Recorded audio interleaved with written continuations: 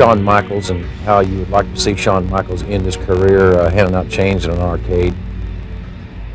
Shawn Michaels. You know, I remember people saying Shawn Michaels, the boy and his dream. Well, they don't say the same thing about me, do they? They don't say Mick Foley, the boy and his dream. And I wonder, Jimmy, I wonder why Shawn Michaels look the way he looks. And why do I look the way I look? Do you think it's unfair that I wish him nothing but pain and misery for the rest of his life? I think it's perfectly logical. And I'm not ashamed. And I wish him and a lot of WWF superstars nothing but trauma and tragedy, both in their personal and professional lives.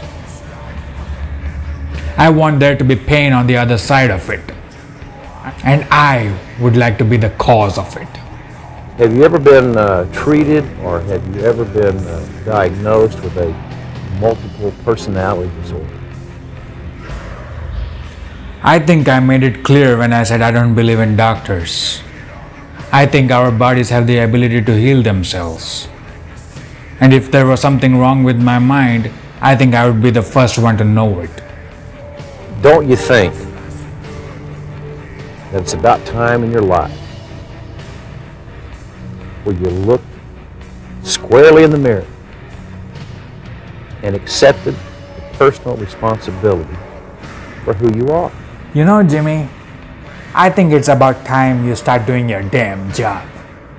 I think it's about time you stop with this bullshit about journalistic integrity. Do you know what you say to people week in and week out about mankind? I don't know if he feels pain or not. Maybe he likes pain. You see, Jimmy, you have the power. You're a powerful man you have the power to tell the truth. But you neglect to do it. You know, Jimmy, maybe you should ask yourself questions from time to time. Why does mankind enjoy pain? You see, Jimmy, I feel pain. I feel pain just like everybody else. And maybe it's because I can't get up. Maybe it's because when my son says, Daddy, let's play ball, and I can't do it. Is that where all the fun begins? Or maybe it's because when the doctor injects 12 inch needle in the disc of my spine so that I could wrestle one more day. Whoopee! Let the party begin, pal! I haven't done a damn thing to you, and all you do to people is mislead them. You think I don't feel pain? Huh? You let people think that I'm having the time of my goddamn life when I'm actually in pain. You make me sick, Jimmy. You make me sick. You're a disgusting man. I ought to teach you a lesson. Don't give me that slug look.